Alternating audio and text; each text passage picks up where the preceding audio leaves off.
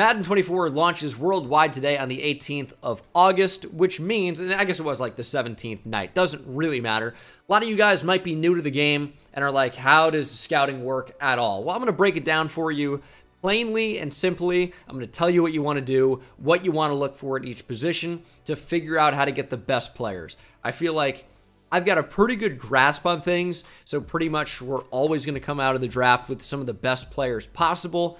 And if you want to do the same, watch this video, hit that subscribe button, and uh, check out the rest of the content on the channel. But it starts out with just looking at the prospects. It's week one. We obviously don't have a ton of information, so what do we do? How do we even go about this? Your first step is to go into the region breakdown. This is going to give you the strengths of the entire draft class as a whole and also the weaknesses. So, what you want to do is align scouts that fit those top strengths because, and there will be outliers here just because wide receiver, quarterback, and right end are the top strengths of the class doesn't mean that maybe a corner isn't the best overall player. So it's important to find those outliers with certain weeks where you can do advanced scouting on players. It's week 11, and that's the last week before the draft. We'll talk about that in a minute. But the most depth, the highest concentration of skill in this draft class nationally will be at those three positions wide receiver, quarterback, and right end.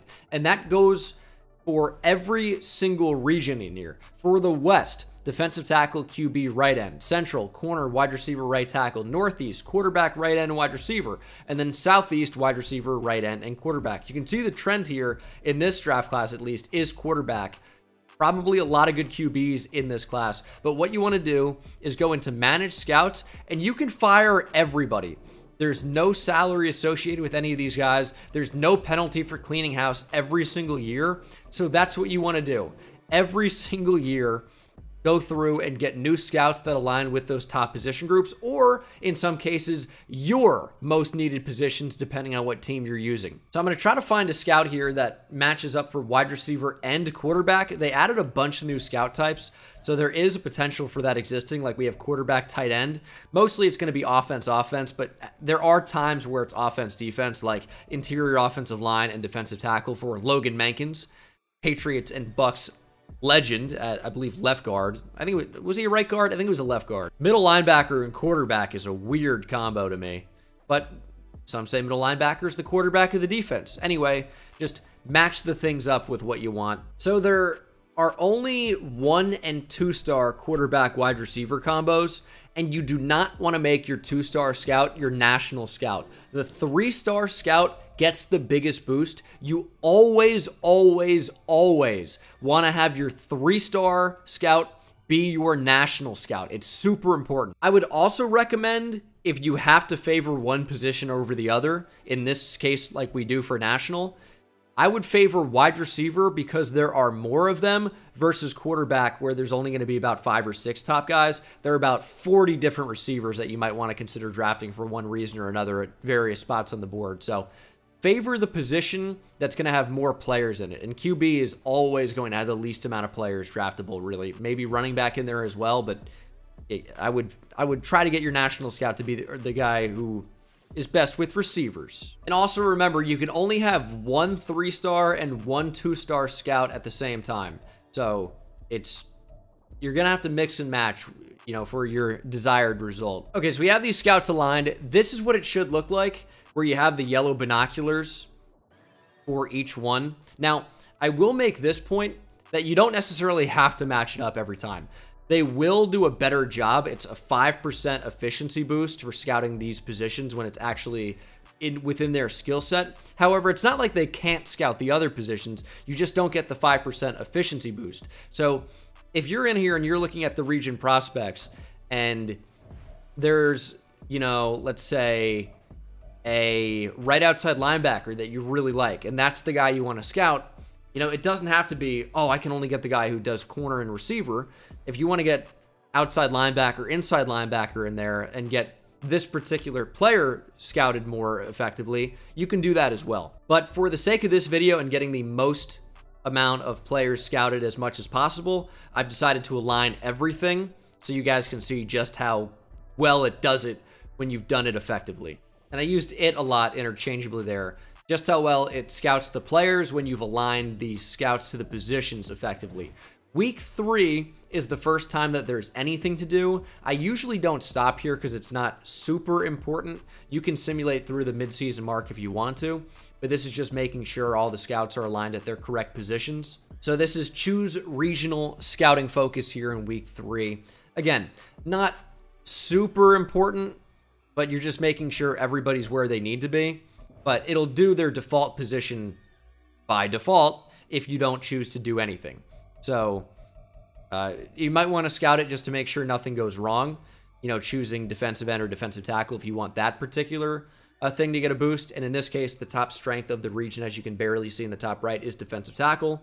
So I'll just align it to be the top position in the region. But again, I would highly recommend actually checking to see the players first.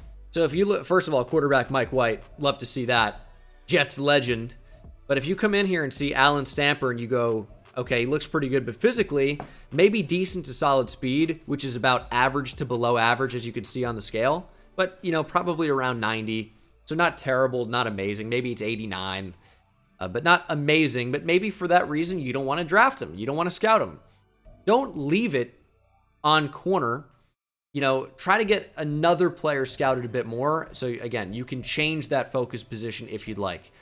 The 5% boost is nice, but it's not the end all be all. Like you could even do quarterback if you wanted to. You could even do right guard for the West if you wanted to, if you saw a player you liked enough. Although I will say it's not the worst idea for your two star scout to actually scout his preferred position. You get a 15% efficiency boost. And I would say at that point, it's a difference maker. The next big moment is week 11. You'll get access to three players that you can scout further, and you get like a 40% boost on them. I will say, historically, prospect spotlight does not matter at all. It doesn't mean the player is going to be good, doesn't mean they're even going to have a good development trait. It means nothing. I wouldn't worry about it. And you can see already, because we've done a really good job aligning the positions, already mid-season, we know the true talent of a number of different players. So we know Lonnie Ramsey's not worth drafting in the first round. The true talent is round two to three. Now, I will say, I have turned up the draft class strength for the video, and I'm doing another video after this within the same league. So some of these players might actually be worth drafting that you're seeing based on their skill set, but it might be lower within the actual class because everything's juiced up right now. But I figured maybe it all scales out the same, so it doesn't really matter. But uh, yeah, look at all these quarterbacks, dude. This is an unbelievable quarterback class. Nine guys that could be first round picks. That's insane. But again, I would usually recommend using your focus scouting on, well, first of all, players where you have a lot of question marks. Maybe the range is very unclear, but also I would recommend using it on players that are outside of the skill set that are not going to be scouted further at this point. So let's say I like the look of Chase Sellers from Texas. He's got a run blocking, and we have nobody really scouting tackles. So the only way we're going to increase his percentage and get a better idea of how he is as a player is getting those ranges A to C for impact blocking, awareness, pass blocking figured out a little bit more. And the focus scouting is going to get a big boost on that. So in this particular scenario, I'm going to do three tackles. Doesn't mean that's what you should do, right? It's going to vary based on the class. But in this case, we're not having anyone scout tackles very much at all. So if we want to know more about them, we have to do it ourselves. And then the next moment is not till the actual draft week, pretty much. It's the week prior. So don't simulate all the way to the draft if you're doing a rebuild type video, and you're probably going to go through free agency anyway. But you're going to have to simulate to the offseason and then go week by week to the week just before the draft week, which is the final week of the offseason. Free agency week one is going to have the combine results. Here's what I'll say about the combine results they're cool I would not say that they're ultra important. For example, we're going to pull up Jarrell Palmer here, and we'll, I haven't checked him out. We'll see what he runs here. But physically, ran 4.38. Now, that number could have been 4.48, could have been 4.28. But what's most important is not the actual time, in my experience. It's what the rating says on the side. So it gives him great speed and elite acceleration even if he didn't run amazingly well at the combine, we can see that great and elite are the top two that you can have. So he's going to be very, very fast. Regardless of what that 40 time says, we know this guy is a freak athlete at 6'4, 222, seeing great and elite speed or acceleration. Very, very good. The skills are good on him. Obviously, it kind of goes without saying, but you're looking for A's at important attributes.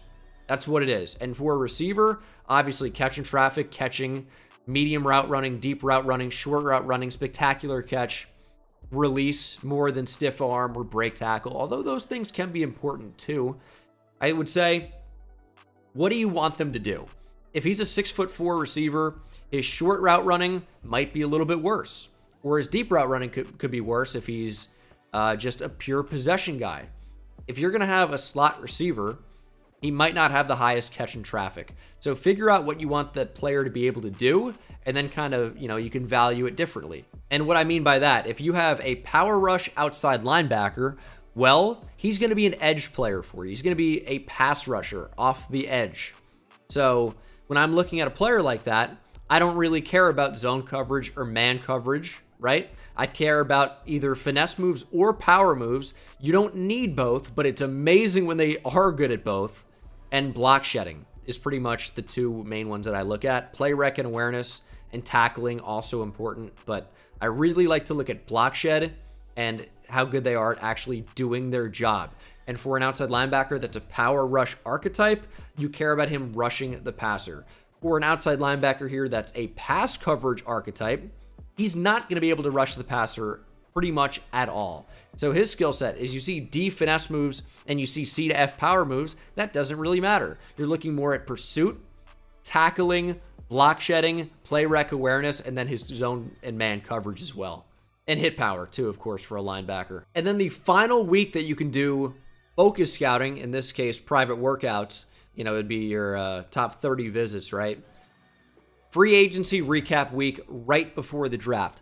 Now, at this point, the way I would strategize with it is not just do positions that are not going to be further scouted, right? Not just, oh, well, left tackle, we need to know more about, or, you know, right tackle or whatever. These are the players that you're probably really thinking about drafting, or maybe some guys that you want to take off your board in some cases where it's, you know, 50 50 to whether they can be really, really good or not.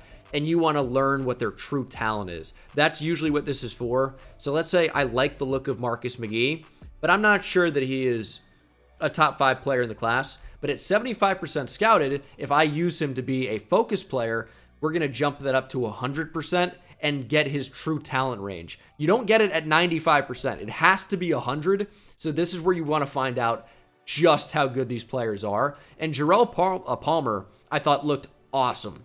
So I want to find out if he's really, truly as good as I think and we're going to scout him up to 100% to get his true talent within the class, either top five, round one, round one to two, or even further back. And I'll tell you, a player like this, A finesse moves, A power moves, A tackle, A to C block shed, Dom Nelson's going to be incredible.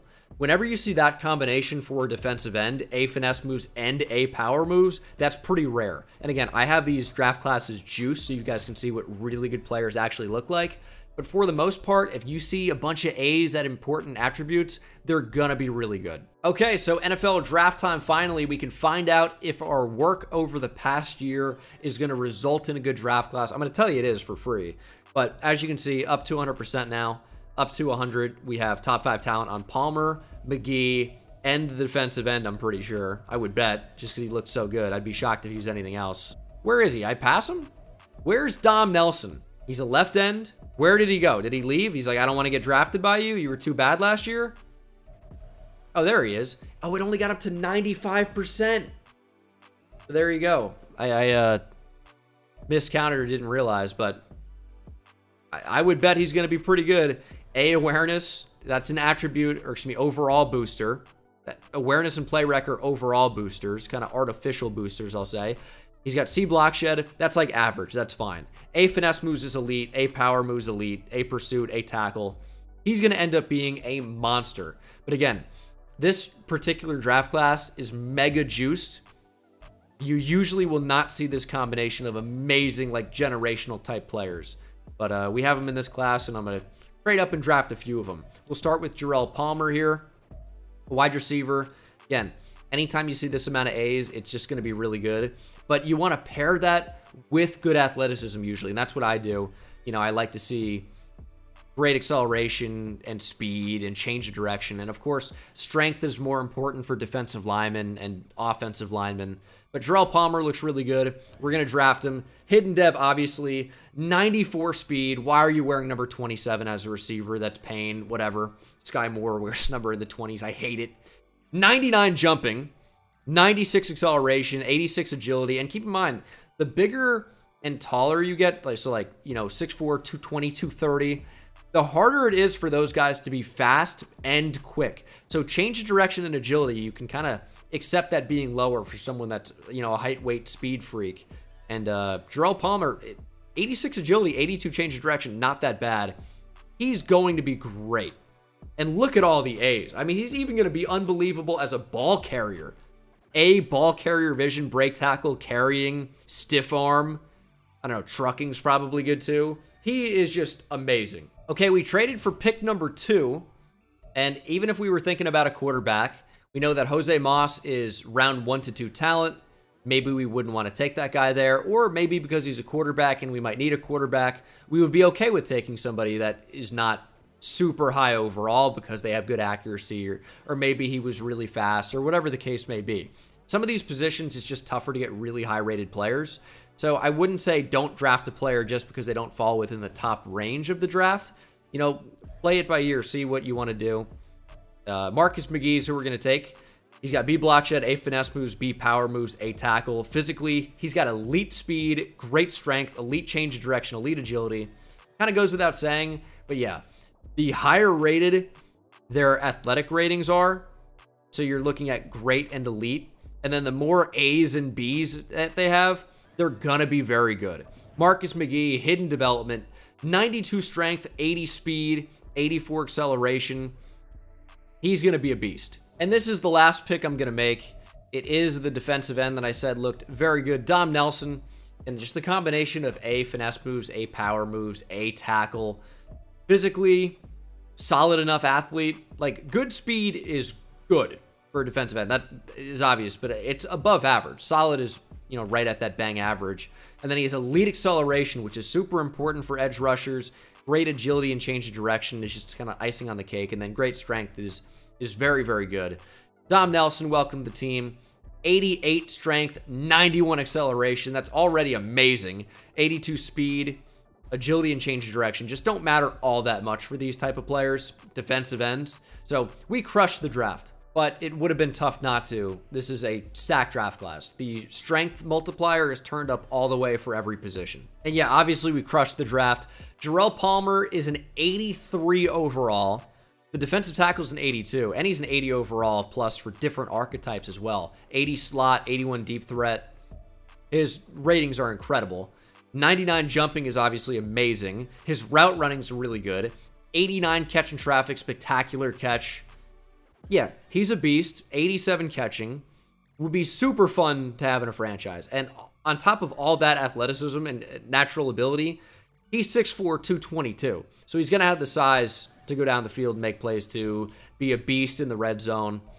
Here's another guy, 6'5", 305. Age is important too. You like to try and draft guys that are like 21 years old over someone who's 23.